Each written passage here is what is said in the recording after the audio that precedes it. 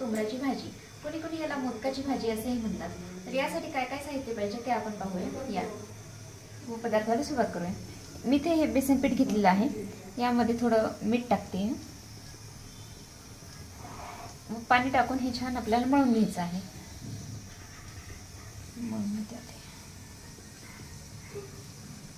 कणकेसारखं आपल्याला हे बेसन पीठ मळून घ्यायचं आहे. आता आपण यामध्ये भरायचं सारण तयार करून घेऊया.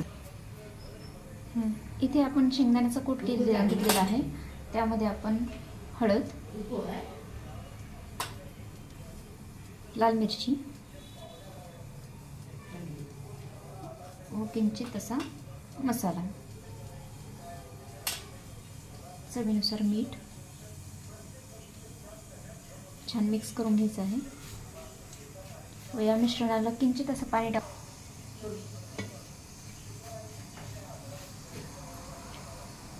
यामध्ये चवीसाठी कोथिंबीर कोणी कांदा हे पण वापरू शकता आपल्या आपल्या आवडीनुसार. तर आपल्या इथे सारण तयार झालेलं आहे. आपण आता मोदक बनवायला घेऊया. आपण बेसन पिठाचा एक छान छोटासा गोळा तयार करून घेऊया हातावर. व मोदकासारखा त्याला आपण मोदक जसे करतो तसे एक पातळ पोळी हातावर लाटून घ्यायची आहे. म्हणजे हाताने त्या पोळीला गोल आकार द्यायचा आहे. व मोदकामध्ये जसं सारण भरतो तसं सारण भरून घ्यायचं. त्याला छान मोदकासारखा आकार द्यायचा. म्हणूनच या भाजीला मोदकाची भाजी असे असेही म्हणतात. याच्या फक्त पाकळ्या वे आपल्याला व्यवस्थित दाबून घ्यायच्या आहेत. कारण जे आपण रशी करणार आहोत त्यामध्ये हे फुटायला नको. आपण पाहू शकता छान असा मोदकाचा आकार तयार करून घेतलेला आहे इथे.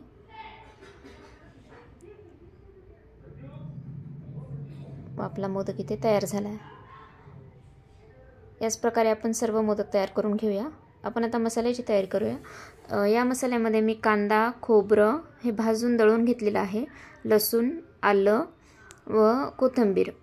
हे सगळं मिक्स करून छान हे मिश्रण वाटून घेतलेलं आहे.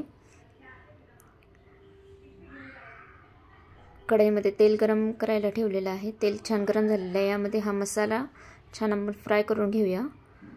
मसाल्याला छान असं तेल सुटलेलं आहे. त्यात हळद लाल मिरची मसाला छान आपण फ्राय करून घेऊया. आपण पाहू शकता तेला मसाल्याला छान तेल सुटलेलं आहे. त्यामध्ये किंचित असं पाणी टाकून हा मसाला आपल्याला आणखी छान शिजून घ्यायचा आहे. एकदम सावकाशपणे याला हलवून सुट्टं सुट्टं करून छान शिजून घेऊया. यामध्ये मीठ छान पाण्याला उकळी आलेली आहे. व एव्हरेस्टचा मटन मसाला. यामुळे भाजीला छान अशी चव येते. छान आपण पाणी टाकून या रशीला उकळी करून पाणी टाकून छान रशी उकळी घेऊ रशीला उकळी करून घेऊया.